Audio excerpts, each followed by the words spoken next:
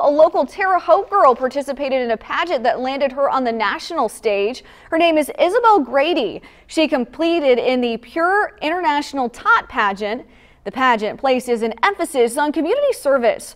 Grady won the top title of Miss Indiana but didn't stop there. Then she competed in the national pageant in Florida. She won the title of Pure International Miss America. She had to do a personal interview with judges, model in former wear, and introduce herself on stage. Here's her winning introduction.